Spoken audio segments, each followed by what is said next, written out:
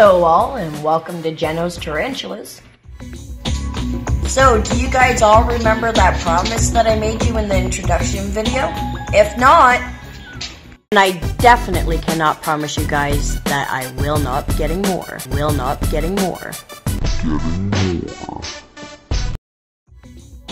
In today's video, we'd like to introduce our new Caribena Versicolor, also known as an Antilles Pink Toe. Her name is Iris.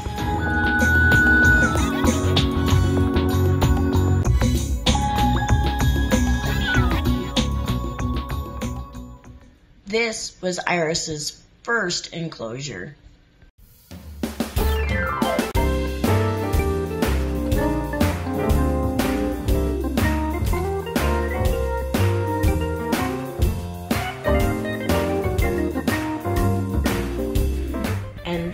Is her new enclosure.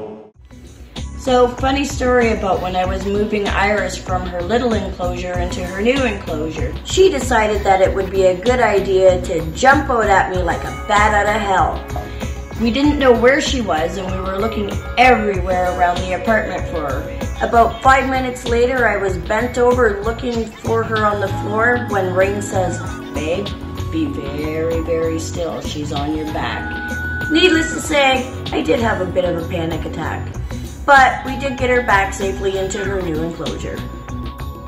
I'd just like to give a special shout out to Don Cooper from over in the UK for giving Iris her awesome new name.